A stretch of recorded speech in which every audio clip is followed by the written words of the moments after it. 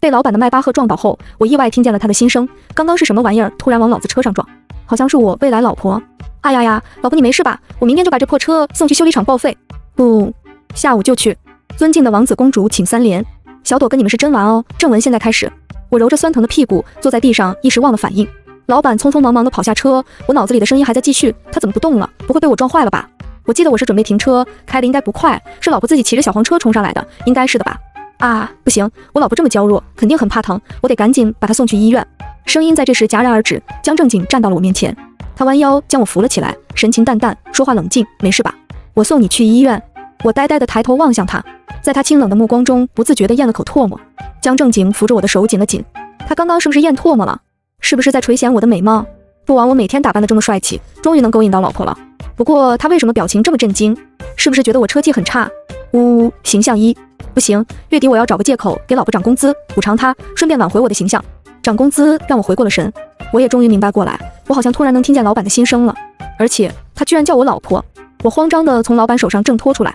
昨天周日晚上我和闺蜜玩得太晚，导致今天早上起不来，害怕迟到被扣全勤，我骑着小黄车一路狂飙到了公司楼下。结果没注意到旁边正在停车的老板，我直接冲着迈巴赫的车头撞了过去。然后我脑子里就开始听见了那些声音，我尴尬地冲着老板笑了笑，没事，老板不用去医院，就是您的车被我撞坏了，我江正景不用赔。我抬眼望向了江正景，江正景也意识到自己答得有点快，在我的注视下用手摸了摸鼻尖，我是不是表现得太明显了？老婆不会发现我暗恋他吧？哎，还没抱一会儿，老婆就从怀里跑出去了，我这追妻之路道阻且长啊！我无语凝噎。在我心里高冷话少的老板，内心戏这么多的吗？而且老板，咱就是说，你连追都还没追我，能不能别一口一个老婆的叫啊？我感觉世界都疯狂了。江正景抬手看了看手表，装作很忙的样子。没事，一辆车而已，我等会儿还要去见客户，先走了。如果有事，随时来办公室找我。随着江正景话落，他的心声再次传了过来。不行，不行，我得赶快离开。老婆太可爱了，再待下去，我怕我会忍不住想要亲亲她。强吻犯法吗？会不会被当成流氓？我现在如果亲一口就跑，老婆这小短腿能追上我吗？哈哈哈，好想试试！你才是小短腿，你全家都是小短腿。我防备地看向江正景，害怕他真的过来强亲我。我赶紧开口：“好的，老板，你去忙吧。”江正景点点头，转身坐回了车中。老婆还没走，看我表演一把完美的侧方位停车，往前看后视镜，往后回方向盘，咻咻咻，停好了。我真棒，老婆快夸我！我默默从地上拉起我的小黄车，逃也似的离开了现场。下午，秘书让我去老板办公室送文件。我怀着忐忑的心情走到办公室门前，刚想抬手敲门，就听到老板絮絮叨叨的心声传入了脑中。摆个帅一点的姿势，争取让老婆等会儿进来的时候被我帅到。好慢啊，好慢啊，怎么还不来呢？一定是秘书办事效率太低，等会儿扣他工资。哎呀，等会儿找个借口带老婆吃饭去吧。这小丫头傻憨憨的，怎么就一点歪心思也不起呢？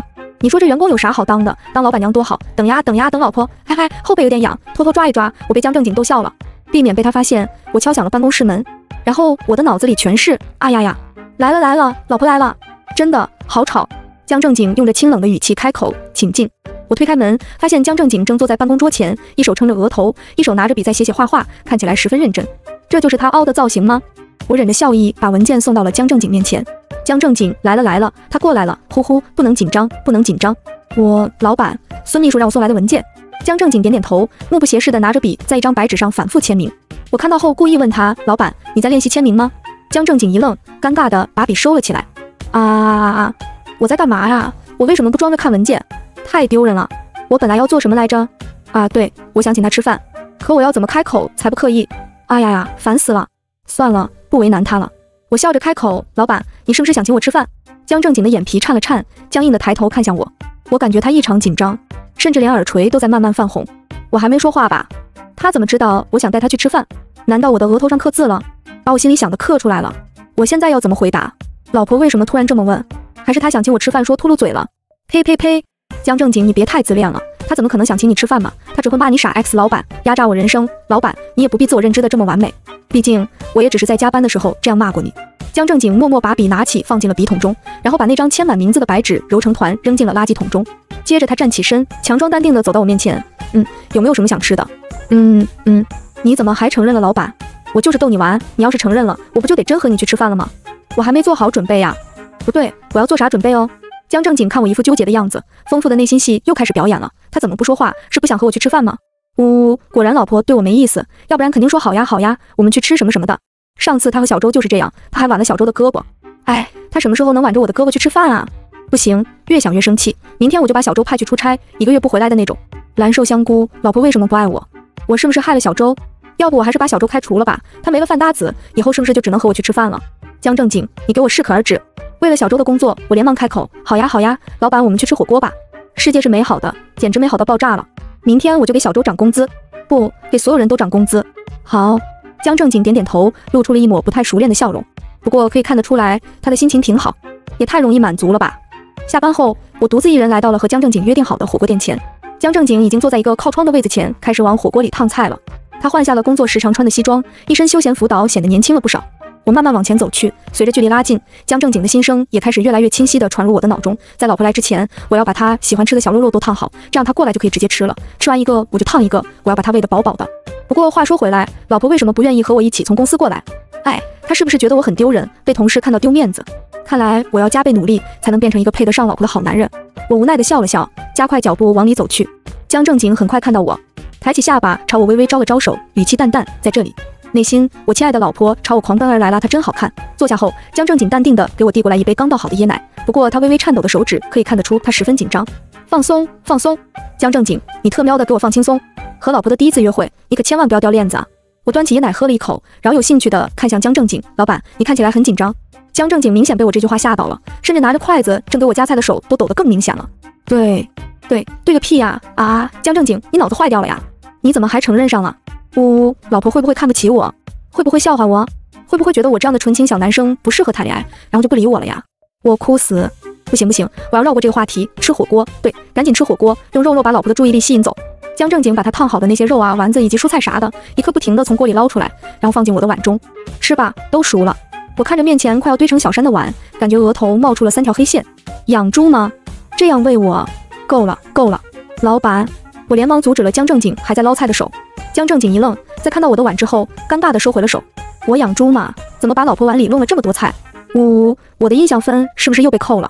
人间不值得，为什么火锅里烫的不是我？好残忍！我忍不住打断他，谢谢老板，都是我爱吃的。哈哈哈，老婆说她爱吃，人间值得，不能往火锅里烫，不能弄脏了汤底。继续给老婆烫菜喽。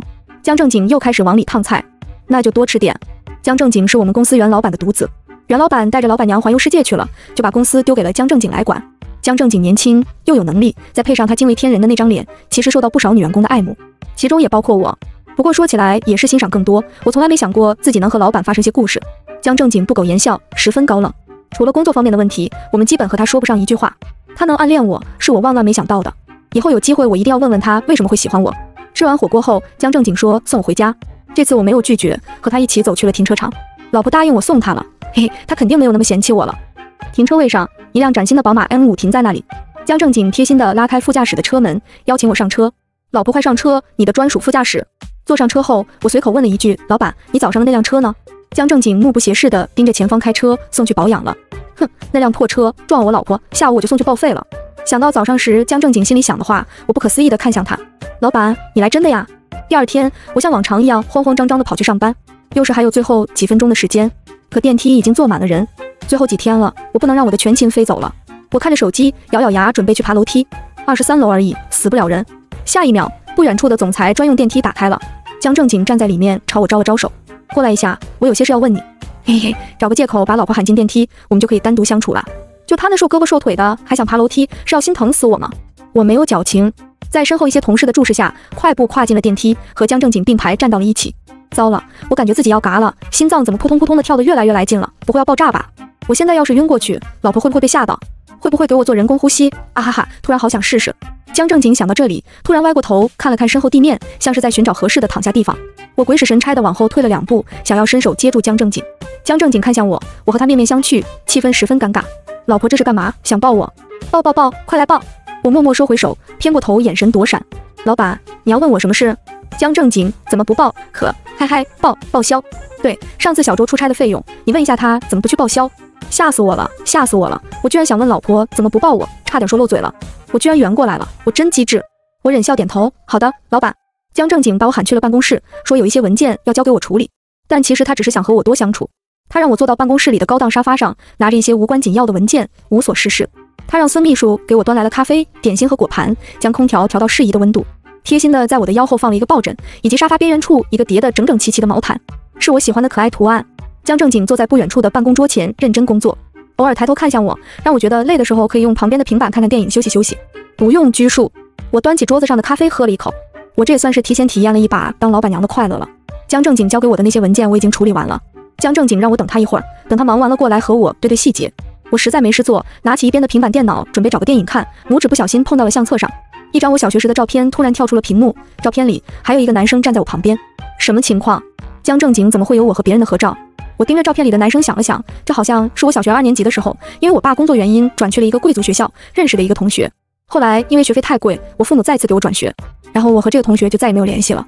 我抬头看向不远处的江正景，一个念头从脑子里冒出来了：江正景不会就是这个小男生吧？江正景还在低头工作，但是他的余光已经发现了我在看他。老婆是不是在看我？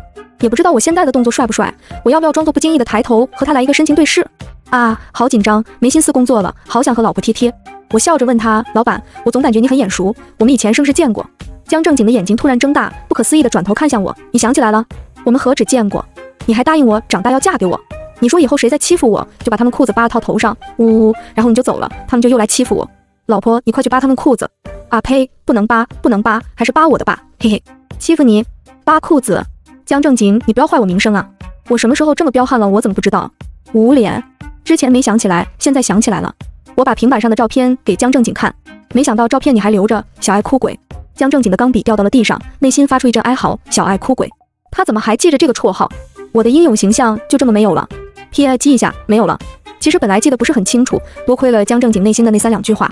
江正景小学的时候长得很秀气，白白净净的，像个小姑娘一样，所以总是受到一些男孩子的欺负。我转学过去的那一天，他一个人站在窗户边，偷偷抹眼泪。我从小就是个颜控，一眼就看到了好看的江正经。为了套近乎，我就跑过去找他聊天。我，你怎么一个人在这里哭呀？江正经，因为他们都欺负我。我，谁欺负你？你告诉我，我去帮你把他们裤子扒下来，然后套到他们头上去，看他们还敢不敢欺负你。江正经，谢谢，但是老师说过这样不礼貌。我，你还知道不礼貌啊？小爱哭鬼。后来我转学的那一天，江正经哭得稀里哗啦，非要拉着我拍下了这张照片。江正经的耳垂又开始泛红了，他侧过头，轻轻咳了两声。那时候小不懂事，我现在已经不爱哭了，所以老婆，你别再叫我小爱哭鬼了啊！这称呼也太羞耻了，简直就是我的黑历史。下次再听见你这样喊，我就哭给你看。哼哼，我眨了眨眼，知道了，老板。就在这时，秘书敲响了办公室门，似乎有合作伙伴要过来谈合同，我也就从江正经的办公室告别，回到了自己的工位上。又过几天，又迎来了周末，闺蜜再次喊我出去玩耍，说她新谈了一个男朋友，要带给我瞧瞧。我好奇往约定地点赶去，想看看是什么样的小伙子能把我母胎单身的闺蜜收入囊中。下一秒，我就在餐桌上看到了江正景和闺蜜面对面的坐在那儿。什么情况？江正景，你昨天还在说爱我，今天就成了我闺蜜的男朋友？你个渣男！我气冲冲的上前想要把闺蜜拉走，免得她被江正景祸害。然后就在餐桌前和另一个往这边走来的男生撞了个满怀。他慌张的把我推开，我一屁股坐到了江正景腿旁，好疼！怎么比撞迈巴赫还要疼？我下意识的抬头看向了江正景。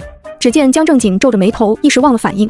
老婆，地上坐着的这玩意儿好像是我老婆。哎呦我去，谁把我老婆撂地上了？江正景猛地站起身，然后蹲下来扶我。另一边，闺蜜推开那个男生，过来扶我的另一个胳膊。哎呀，宝贝，你没事吧？把我推倒的那个男生也后知后觉地蹲下了身。对不起，我条件反射，在周围群众的注视下，我们四个人面面相觑。所以现在是什么情况？先起来。江正景把我拉了起来，闺蜜连忙端了个凳子过来让我坐下。推我的男生站在一旁低着头，活像个犯错的小朋友。我看着闺蜜，指向那个男生：“你别告诉我，他就是你男朋友。”江正经，没错，就是他，敢推我老婆。等回去的时候，我就胖揍他一顿，把他揍得和我那辆报废的迈巴赫一样。气死我了，气死我了！老婆肯定摔疼了，眼角都红了，都要哭了。呜呜。江正经默默瞪了一眼那个男生，小垃圾，以后你就不是我兄弟了。闺蜜小心翼翼地点点头，连忙让我别生气。生气倒是不至于，就是有点疼。可江正经好像挺生气，原来他是陪兄弟出来的呀。我摇了摇头，表示自己没生气，顺带歪过头，小声告诉江正景：“没事，我不疼。”江正景，嗯，内心，哼，我才不信，哈哈，还挺可爱。后来我们四个各端着一杯饮品，坐在椅子上有一搭没一搭的聊天。闺蜜朝我使了个眼色：“宝贝，你觉得我对象的这个兄弟怎么样？他也单身，要不你们凑成一对算了？”哈哈哈，我觉得你们看起来很配。是的，我也觉得我们很配。会说话就多说一点，哈哈哈。江正景装模作样的喝了一口咖啡，一声不吭。他那个兄弟却凑过来插话：“不行不行，我们老姜有喜欢的人了，是他们公司一个小员工，老姜可喜欢了，整天和我们兄弟几个探讨怎么追人，怎么谈恋爱。这不，今天就是过来学习的。他近期就准备对那个小员工下手了。”江正经，闭嘴！啊！这个大嘴巴，老婆就在旁边，完蛋完蛋完蛋！我差点被刚塞进嘴巴的蛋糕噎住，连忙端起饮料，撇过头喝了起来。他兄弟还在哈哈笑着，你看还害羞了。闺蜜对此很感兴趣，缠着她对象继续说，然后呢，老姜是哪个公司的呀？就我们市里那个江氏集团，是吗？深藏不露啊！闺蜜反应过来，扭过头看我，宝贝，我记得你是不是也在江氏集团上班？我默默点头。她对象立马凑了过来，真巧，那你不也是老姜的员工？哈哈，改天让老姜给你升职。哦，对，老姜喜欢的人就你们公司那个小员工，好像姓叶，叫什么叶？叶一和。对，叶一和，你认识吗？闺蜜，我认识。江正景面无表情，毁灭吧，世界都毁灭吧！老子精心准备了几个月的告白，还没出生就夭折了，毁了，全毁了！老子要弄死这个大嘴巴！啊！他兄弟察觉到气氛不对劲，小心翼翼地询问：“你们怎么都不说话了？”我微微一笑，因为我就是叶一和。好吧，现在他兄弟也不说话了。十分钟后，闺蜜带着江正景的大嘴巴兄弟逃走了。留下我和江正景相邻而坐，默不作声。怎么办？我现在要说什么话才不会把老婆吓走？这暗恋一下子成了明恋，我突然不适应了，好尴尬。老婆怎么也不说话？呜呜呜，他是不是在想着找个借口离开？我拿起饮料喝了一口，转过头看他，你兄弟和我闺蜜都走了，我们是不是也该走了？你看，果然，他想走了。江正景抿了抿嘴，反正是周末，我们要不要也去一些地方玩一玩？嗯嗯啊，老婆答应了，她答应跟我约会了。我等会儿带他去哪里玩呢？我想想，啊啊啊啊！看电影，电影院人太多，包场的话会不会太刻意？密室，不行不行，我怕黑，到时候老婆知道了肯定笑话我。游乐场也不行，老婆好像恐高，到时候就玩不了什么了。啊，好烦好烦，要不我把老婆带回家吧，到时候我们就可以嘿嘿。冷静，江正经，你在瞎想什么？又不是带回家羞羞，那是要带我回家干嘛？继续想啊，我好奇。可江正经却不想了，而是问我你有没有什么想去的地方？我心不在焉，你家好奇心害死猫。我脱口而出的两个字，把我和江正经都吓得不轻。江正经立马低下头，拿出手机一通打字。我我现在后，他司机马上就到，我们去出口那里等他吧。悔还来得及吗？好吧，来不及了。我认命的点了点头。嗯，我要相信他真的想的不是和我羞羞。江正景把我带去了他家的一个房间中，里面有一些游戏设备。好吧，他是想带我回来玩三 D 恐怖游戏。莫名的有点失望，是怎么回事？江正景和我一起戴上了 3D 眼镜，我们瞬间仿佛置身于一个阴森恐怖的古宅中，好黑，好恐怖，我好怕！呜呜呜，又菜又爱玩，说的就是我，我不能怂，我要带老婆过关，看到鬼我就闭眼，对，闭眼，闭眼就什么也看不到了。我要保护好老婆，我要啊啊，鬼鬼鬼鬼呀！江正景把手柄扔到了地上，看起来确实吓得不轻。我摸索着走到了江正景身旁，抓住了他的手，怎么了，老板，你没事吧？江正景没事，手滑不小心把手柄弄掉了，我捡起来，我们继续。老婆牵我手了，哈哈哈，他牵我手了，鬼有什么可怕的？我现在能揍十个，不一百个。江正景真如他所想，一路勇猛地带我打鬼闯关，我们一直玩到天色渐黑，才心满意足地坐到了沙发上，真过瘾，嗯，真过瘾。江正经伸手把我的碎发捋到耳后，拿出手机问我有没有什么想吃的，他让保姆去买。我随口报了几个菜名之后，静静地转头看向江正经。他的额头有些细汗，衬得江正经的皮肤白皙，看起来异常可口，好想亲一口。江正经猛地转过头看向我，眼睛瞪得浑圆，看起来十分震惊。他怎么了？我试探性开口询问。怎么了？江正经，一加一等于几？我二。他玩游戏把脑子玩坏掉了。江正经，你是不是觉得我脑子坏掉了？嗯。他怎么知道？江正经，你是不是在想我为什么会什么都知道？你。江正经点点头。是的，我好像突然能听见你的心声了。这事说起来挺玄幻的。科学解释不了，玄学我也不懂，就觉得十分神奇。先是我突然可以听见江正经的心声，现在江正经也能听见我的心声了，这就仿佛像是我们脱光了衣服，里里外外都被对方看得干干净净，一清二楚。但是他还不知道我也能听见他的心声，还在心里想着要怎么利用这个成功追到我。想着想着，他突然想到了他听到我的第一句心声，好想亲一口。等等等等，老婆刚刚是不是想亲我来着？我应该没听错吧？我的脸刷的一下就红了，但也承认了，只不过没有用嘴说。你没有听错。江正景表情复杂，你在和我对话，我，嗯，你也能听到我的心声，嗯，什么时候能听见的？不小心撞到迈巴赫的那一天。江正景似乎是回想起了他这段时间的内心活动，转过头朝着我笑了笑，颇有些生死看淡的样子，很丢人，想自杀。我试探性开口，那不亲了，不亲。江正景突然俯身把我压到了沙发上，与我面对着面，呼出的热气砸在我的鼻尖上，惹得我痒痒的。想得美，我就这样被江正景亲了一口。亲完之后，他坐回原位，象征性的清了清嗓子。叶一和，我喜欢你，你呢？你喜欢我吗？我红着脸点头，我也喜欢你。江正景很是开心，呵呵，说了就不允许反悔了哦，不反悔。那你现在是我女朋友了？嗯，听听我的心声。江正景说完这句话之后，我感觉我的脸红的都要滴血了。因为紧接着我的脑子里就传来了一句话：亲不够，老婆，我们再亲一次吧。后来我问江正景，他是从什么时候开始喜欢我的？这个问题，从我听见江正景心声那天开始，我就想问了。我靠在江正景的怀中，听着他告诉我，很早了，早到小学二年级的时候，从我们第一眼见面，你说要帮我把那些欺负我的人裤子扒掉套他们头上的时候，我就觉得这个小女孩好可爱，长得粉嘟嘟的，居然这么勇猛。等我长大了，我一定要把她娶回家，让她保护我。但可惜你很快就转学了。等你转学后，年纪那么小的我居然感觉到天塌了的感觉，我一点也不想你离开。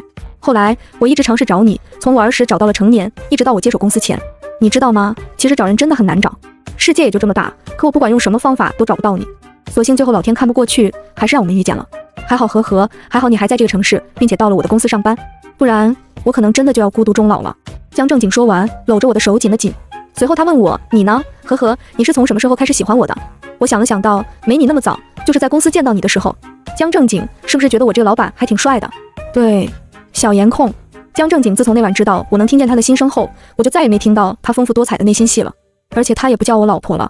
我气呼呼地问他怎么恋爱了还变得生疏了？你是不是得到了就不爱了？江正景无奈捂脸，呵呵，你让我缓一缓，之前太丢人了，我脸皮薄害羞。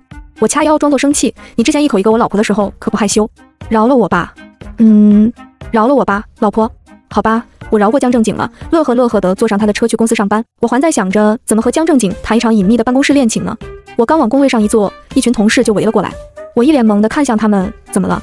小周抓着我的肩膀，激动的不行。叶一禾啊！你瞒得够深啊！快说快说，什么时候和老板勾搭上的？我亲爱的同事怎么就变成我的老板娘了？